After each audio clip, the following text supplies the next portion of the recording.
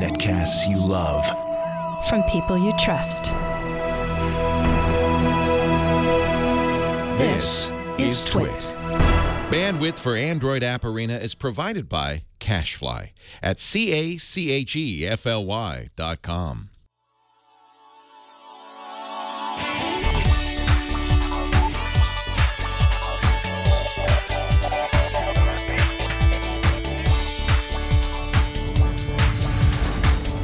This is Android App Arena, episode 114 for Wednesday, September 7th, 2016.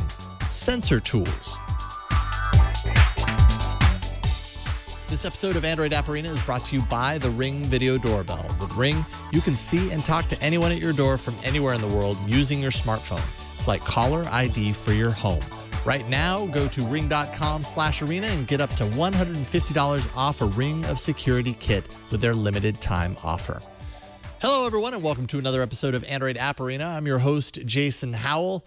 Nothing makes you feel quite as nerdy as monitoring the diagnostic readings that your phone is spewing forth. I mean, the information's there for the picking. You just need to have the right app to pick it, like an apple from the tree. Finding a reason to pick it, well, that's another story altogether. From monitoring the health of your device to making sure you're charging your phone at maximum speed to checking on the health of your mobile network. I've got you covered in this week's roundup of a few sensor tools that I've encountered over the past year or so. Let's take a look. One of the most critical elements to any mobile device is the power and sustainability of the battery that gives the device its life in the first place. An app called Ampere is a great way to monitor your battery's health, and in some cases, it can make sure you get maximum charge when you plug it in. First, this main screen gives you all of the essential details about this single point of time as it relates to your battery. You'll know the rate that your device's battery is discharging if it's unplugged, and you'll know how much battery is left, the condition of that battery, its temperature, its voltage reading, and more.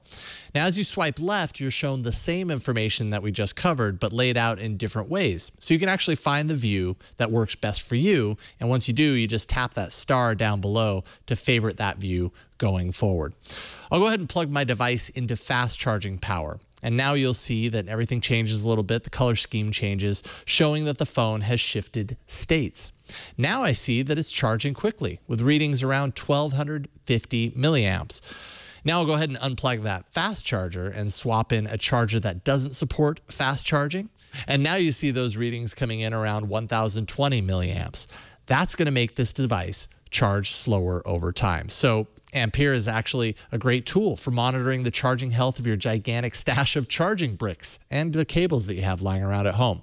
Ampere is free with a $1.20 upgrade inside the app to remove the ads. Find it now in the Play Store.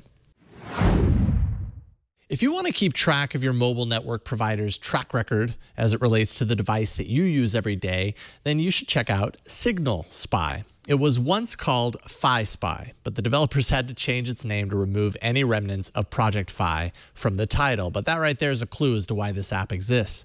Signal Spy is a great way to keep track of which mobile network you connect to the most while you're using Project Fi.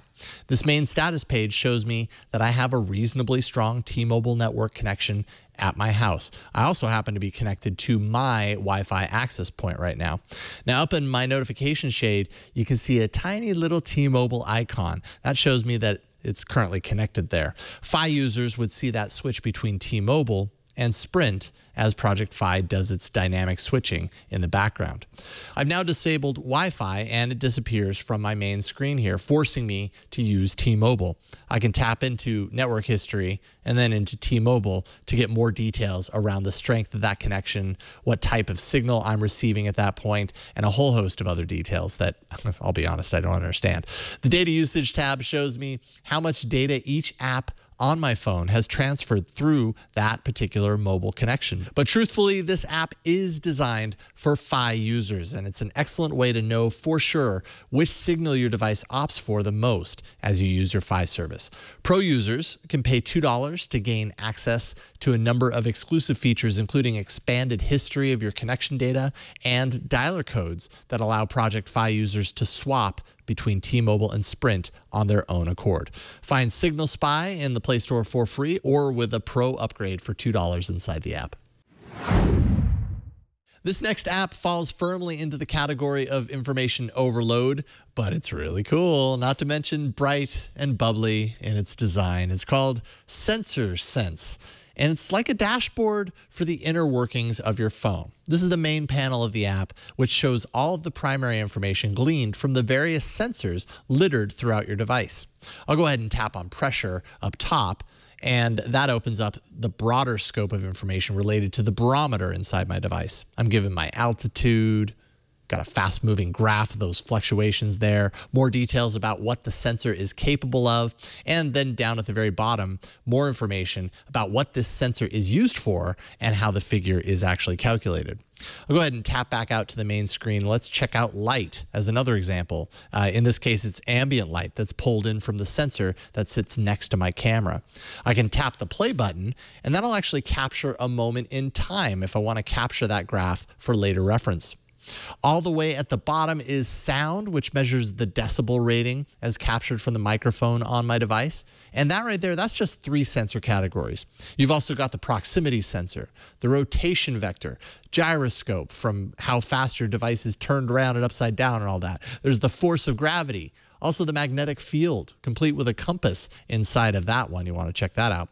There's acceleration force on all three axes, Wi Fi signal strength, mobile network strength, latitude and longitudinal location, and finally, and this is a good one to have access to battery, including the temperature of that battery inside. So many readings. Not sure I know what to do with most of them, to be honest, but someone does. And Sensor Sense organizes all of that information in, I think, a pretty obvious and enjoyable way. Find it for free with ads in the Play Store with a premium upgrade inside the app to remove the ads for $1.69. So much knowledge. Now, if only we knew what to do with all that data. But I am sure if someone can figure it out, it's you. So tell me how you manage all that data. Arena at twit.tv. I can't wait to hear your responses. All right, let's take a minute to thank the sponsor of today's episode. That is the Ring Video Doorbell. There's a home burglary every 13 seconds. Most burglaries happen in broad daylight. Burglars will actually ring your doorbell to make sure that you're away, and that's their signal to break in. Well, Ring Video Doorbell has been proven to stop burglaries before they even happen. It allows you to see and speak to anyone approaching your door using your smartphone. Now, Ring is using their advanced motion detection technology to protect your entire property with their Ring of security kits. Kits include a Ring video doorbell and may include a stick up cam, there's a solar panel, chime, and possibly a solar security sign. Pro kits include a slim video doorbell pro. This is the new one with crystal clear 1080p HD video and night vision. Really nice. It's hardwired, so it never needs to be charged. The wireless and weatherproof HD stick-up cam keeps an eye on other parts of your property and actually allows you to hear and speak to visitors with two-way talk. You can plug the chime into any standard power outlet to know when you have a visitor, even if your phone is in another room. We have one of those in our living room. The illuminated solar security sign deters intruders before they even get to your door so they'll know you're protected. The Ring Video Doorbell and Stick Up Cam install in just minutes. It's super quick. And working together, they provide 24 7 monitoring of your entire home, whether you're in the living room or if you happen to be thousands of miles away. And if your parents do a lot of traveling uh, during the summer, I know mine do, this would be a great way to make sure they feel protected while they are away, especially because now, you know, my parents are firmly locked into the always connected world that we live in, thanks in no small part to me. Might as well give them the ability to see their house while they aren't there so they know everything is going to be there for them when they return as they expected. Join the millions of homeowners who protect their home with Ring. For limited time, Android App Arena listeners can get up to $150 off one of the Ring of Security kits. Go to ring.com slash arena. That's ring.com slash arena arena. All right, up next, a way to get super nerdy with the volume level of the apps on your device. It's this week's big app. Here's the scenario. You're in a car listening to some music, let's say on the YouTube Music app on your way to work, full blast. You pause it as you walk into work, you sit down at your desk, and then you unlock your phone and that music begins blaring at full volume to everyone around you. Suddenly they all know that you secretly listen to Justin Bieber. Yeah, it's pretty scary. Well, with the app called Volume Master Pro, you can take control over the volume on your device in a few automated ways so you never face that shameful scenario ever again. Taking this example, why not assign a particular volume level to your connected Wi Fi at work? I'll skip into the Wi-Fi control pane here and uh, select the Wi-Fi that my device connects to while I'm at work. Now, this is going to pull up all of the main volume controls for media, alarms, rings, and notifications. Each can be affected when my device actually connects to that Wi Fi access point or disabled, so they never change based on the state they already were. And down below are a few more sound generating categories to dial in. So things like those loud dial pad tones when you dial a number or touchscreen sounds that bleep and bloop, you can have those turn off while you're at work, but back on when you leave. Another way to tweak the volume of your device is on a per app basis. Now, this might take some time to curate, but any app installed on your device can be set with those same volume defaults. So if you have any pesky repeat offenders, let's say YouTube, you can take care of them before they do any decibel damage to the people around you. Find Volume Master Pro in the Play Store for $1.49 right now. Now, I'm pretty certain I could just throw a 30% volume level on the YouTube app and never miss its sudden loud interruptions at exactly the wrong time ever again. Or, I don't know, maybe I could just stop using YouTube altogether. Just kidding. Send me your favorite apps and categories to arena at twit.tv, or you can post those to the subreddit. That's androidapparena.reddit.com. Share them with me uh, there as well as the rest of the world. The show plays live every Wednesday around 5 p.m. Pacific following Tech News Today at twit.tv slash live. A new episode will appear later that evening in the feeds and on the show page at twit.tv slash arena. All right, that's it, folks. Thank you so much for joining me today. My name is Jason Howell, and I will see you next week in the arena.